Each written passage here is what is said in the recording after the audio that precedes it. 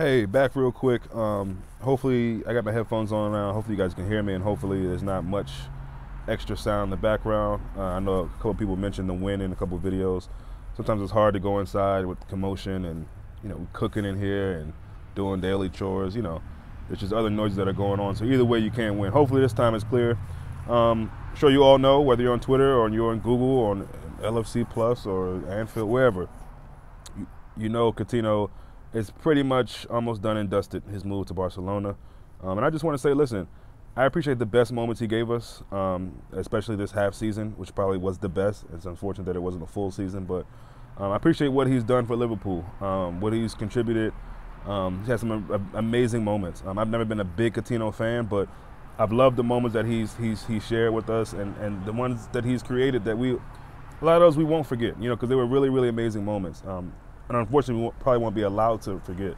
But can we now just let it go? Um, all the bitterness and the, the nasty things people are saying on Twitter, um, you know, and that's what we are as fans. We're fanatics, you know, and so we, we do, we are um, prone to say these things from time to time. But at the end of the day, the number 10 is not on our team anymore.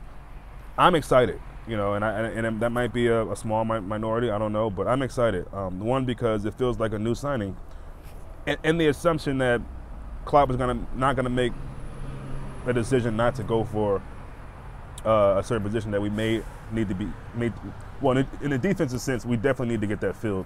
I don't know how pressing he feels it is to necessarily replace Coutinho at this at this moment, if you will, quote unquote, replace.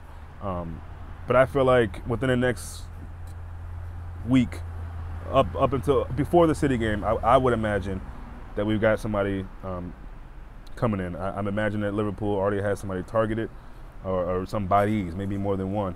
Uh, but either way, I'm, I'm, excited mainly because we can put this chatter hopefully uh, to bed. I, I, can imagine all the way up until City, there'll still be people on Twitter, there'll still people on, be people on social media that are still, um, you know, disrespecting this man. And sure, you can say he disrespected us. I don't look at it that way. Listen, he's Brazilian.